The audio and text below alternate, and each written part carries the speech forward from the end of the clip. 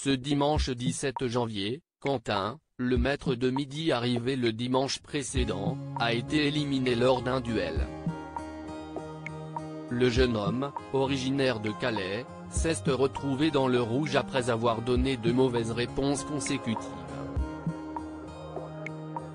La première portait sur des titres de films et la seconde sur des albums des Schtroumpfs.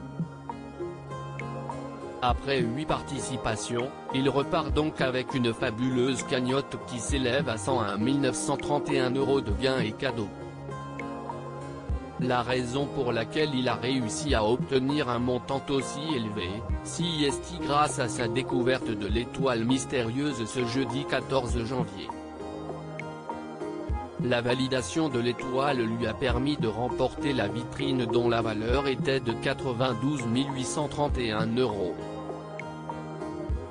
Il aura donc fallu 47 émissions pour que les maîtres de midi viennent à bout de cette première étoile de l'année 2021. Si Quentin est parvenu à la découvrir, il a toutefois eu du mal au début.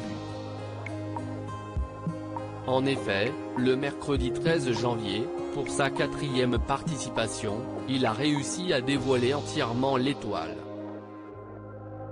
Persuadé d'avoir reconnu un chanteur, il donne le nom de Cyril Ferraud.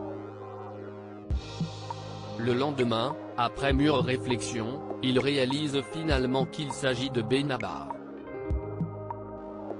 Une étoile validée, qui lui permet de remporter une belle somme d'argent. Interviewé par La Voix du Nord, le jeune homme s'est amusé de cette situation. Il faut savoir que sur le plateau, j'étais à 10 mètres de l'écran diffusant l'étoile, explique-t-il d'abord avant d'affirmer, nous n'avons pas le même rendu que devant la télévision. Je ne vois cette étoile que durant 12 secondes à la fin. Je pensais à Cyril Ferraud avec sa mèche blonde et plusieurs indices concordaient. Mais non. Ce n'était pas lui. Il fallait avoir une réaction spontanée. Une petite erreur qui lui aura donc permis de recevoir un message de l'animateur en personne. Il m'a envoyé un message sur Instagram pour me dire que ça l'avait fait beaucoup rire, s'est amusé Quentin. Si est un moment inoubliable si l'aventure s'achève pour Quentin, le jeune homme n'a toutefois pas oublié la découverte de cette étoile mystérieuse. Interviewé par La Voix du Nord le 14 janvier, il a confié que cette victoire était un grand soulagement avant d'affirmer qu'il y avait réfléchi durant toute l'émission. Concernant les cadeaux remportés, énormément de choses des robots de cuisine, des grille-pains, des télévisions, un scooter, un aspirateur, un tapis roulant, du matériel électronique.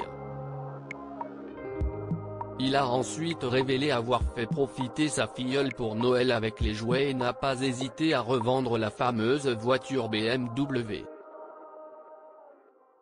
Je vis à Paris et je n'en ai pas trop besoin, conclut-il. Une courte participation qui aura permis à Quentin de se faire une place au sein de la famille des 12 coups de midi.